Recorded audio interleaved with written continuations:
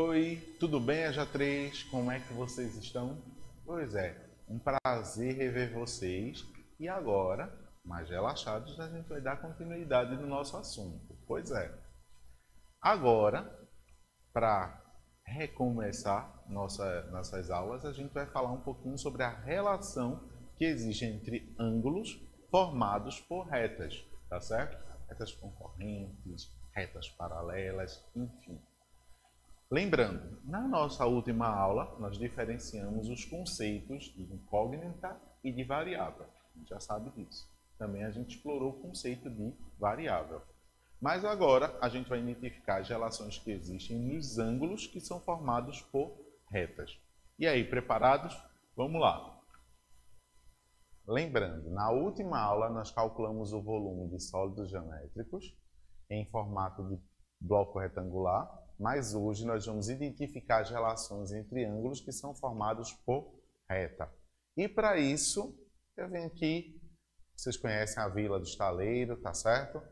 Tem um formato aqui que é bem interessante para a gente trabalhar a aula de hoje. A gente sabe que tem ruas aqui, elas têm basicamente a mesma distância entre os pontos dela, e esse conceito de paralelismo, ou seja, ruas paralelas, é o que a gente vai usar também no dia de hoje, tá bom? Então imagina agora que inspirado na nossa Vila do Estaleiro, a gente vai fazer o nosso bairro. E no nosso bairro, essas ruas elas estão representadas por essas faixas, essas retas, tá certo? Na cor preta. E aí a gente tem várias casas. Algumas casas elas estão identificadas pelo mesmo formato. Tem, então, tem casa aqui em é, quadriláteros rosa, tá bom? Tem aqui outros em quadrilátero num losango azul, no losango num quadrado aqui, né? Tem as da cor verde e também tem as da cor amarela, tá certo? Lembrando, todas essas amarelas, elas são inferiores do lado, de, do lado direito. As azuis são inferiores do lado esquerdo, as rosas superiores do lado direito e o verde do lado, os superiores do lado direito, tá bom? Então, organizamos aqui a ideia.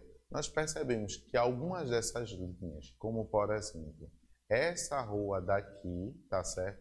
E essa rua aqui de baixo, basicamente sempre tem a mesma distância entre elas. Essas ruas nós podemos dizer que elas são paralelas, quando tem a mesma distância entre elas. Tá bom? Também nós percebemos que entre essas duas retas, ou essas duas ruas daqui, tá certo? Sempre tem a mesma distância aqui entre elas, tá certo? Então a gente tem aqui, ó, eles começam e vêm com a mesma distância aqui. Essas duas ruas aqui, elas também são chamadas de ruas paralelas. No entanto, né, a gente tem uma outra rua aqui. E essa rua, que ela tem um formato diferente, né, uma posição diferente com relação a essas daqui, ela tem um, uma, uma angulação que ela é totalmente aqui, essa é horizontal e essa é totalmente vertical. Essa rua daqui a gente chama de rua perpendicular, tá certo? Então, essa rua é perpendicular a essas duas daqui. Duas principais, a gente pode chamar assim.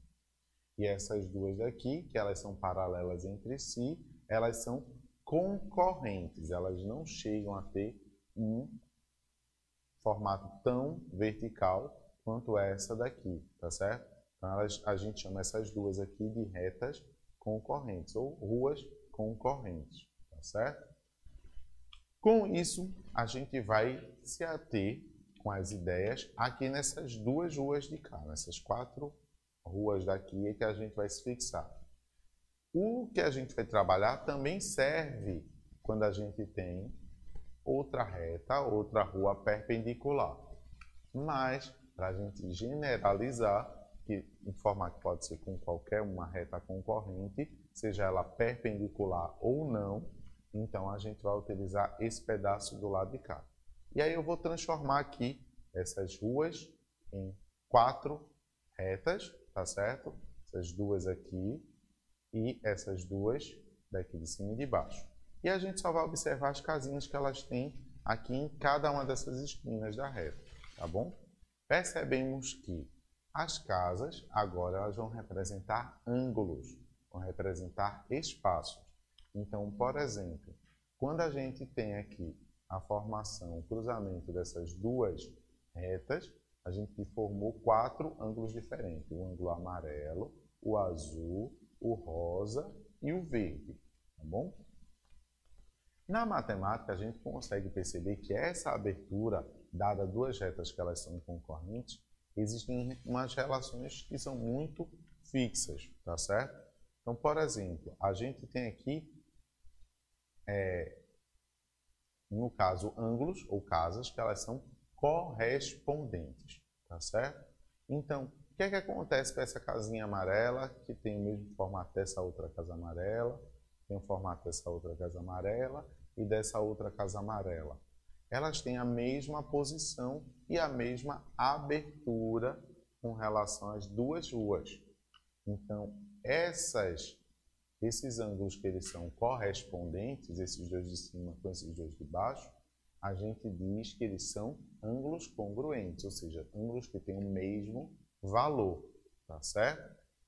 Então, ângulos correspondentes são ângulos que eles têm o mesmo valor. Isso vai acontecer não somente com os ângulos que estão aqui na casinha amarela, vai acontecer nos ângulos que estão na casinha azul, na casinha verde e na casinha rosa, nos ângulos representados na cor azul, verde e rosa, tá bem?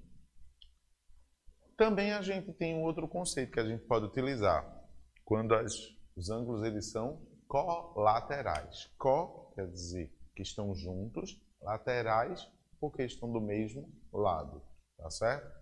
Então, se a gente olhar aqui, esse esse ângulo daqui, essa casinha amarela, que é o ângulo amarelo aqui, ele está do mesmo lado do ângulo daqui de baixo, o verde. Porém, tá certo?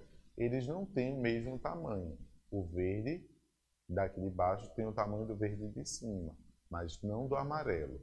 Na verdade, o que acontece? Esses dois ângulos somados aqui, eles somam 180 graus. Então, como eles são o verde daqui de cima e o verde daqui de baixo, eles são correspondentes, eles têm o mesmo valor, são congruentes. Quando a gente pega esse amarelo daqui de cima e a gente soma com esse verde daqui de baixo, então é a soma desses dois é 180 graus. O mesmo vai acontecer com esse amarelo e o azul lá de trás. Isso porque essas retas também elas são retas perpendiculares, são paralelas, tá bom? Então esses dois aqui ângulos eles têm, certo? Eles são complementares, eles são colaterais. A gente até chama de colaterais externos, tá bom? Porque eles estão do lado de fora. O mesmo vai acontecer com esse azul e esse rosa. Eles são colaterais externos. Quando a gente somar o azul, o valor do ângulo azul com o do rosa, também vai dar 180 graus. E o mesmo vai acontecer com esse verde e esse rosa, tá bom?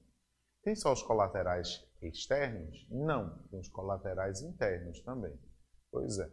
Nesse caso aqui dos colaterais internos, esse azul com esse amarelo, eles estão do mesmo lado, e somados eles também vão dar 180 graus. Tá certo? O mesmo vai acontecer com esse rosa e esse verde, eles são colaterais internos. Tá certo? Também vai com esse rosa e esse verde, e esse azul e esse amarelo. Tudo bem? Por fim, ainda colaterais, e que é a soma dá 180, esse verde com aquele rosa e esse amarelo com aquele azul. Tudo certo? Pronto. Vamos passar para o próximo conceito de ângulos, que são os ângulos alternos. Alterno significa que varia, tá certo? Então, se um está de um lado, diferente dos colaterais que estão do mesmo lado, se um ângulo está de um lado, o outro ângulo vai estar de outro. Percebam o seguinte, esses ângulos aqui, os dois amarelos que estou entre eles, eles estão do mesmo lado, inclusive eles são correspondentes, né? eles equivalem ao mesmo. Então a gente não está olhando aqui nesse sentido horizontal. Vamos olhar no sentido vertical. No sentido vertical a gente tem o seguinte, que esse amarelo daqui e esse rosa, eles estão do lado, de lados diferentes com relação a essa linha reta aqui, tá bom? Porém, um está lá em cima, um está para fora e o outro também. Então são ângulos alternos, que eles se alternam de lado, externo, porque eles estão para fora dos outros dois, é, das duas retas paralelas. O mesmo vai acontecer lá do outro lado, mas eles não são os únicos alternos, tá bom? A gente também tem esses azuis com os verdes, eles são alternos externos, e também a soma desses ângulos dá 180 graus. A gente também tem esses ângulos aqui que eles estão pertinho. Ó. Eles estão do lado, de, do lado diferente com relação a essa reta, só que ambos estão dentro, tá certo, das retas paralelas aqui.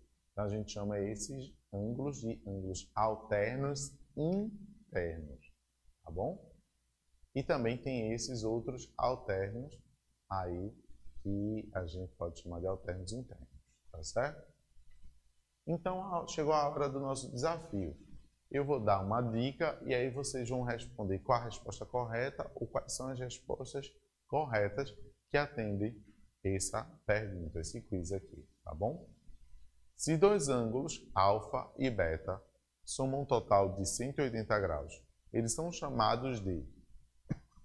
Eles podem ser chamados de quê? Né? ângulos complementares, suplementares, replementares, rudimentares. Então acertou aqui quem respondeu complementares.